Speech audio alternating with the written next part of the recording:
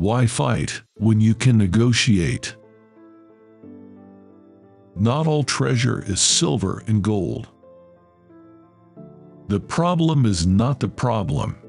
The problem is your attitude about the problem. The code is more what you'd call guidelines than actual rules. You are without a doubt the worst pirate I've ever heard of, but you have heard of me. This is either madness or brilliance. It's remarkable how often those two traits coincide.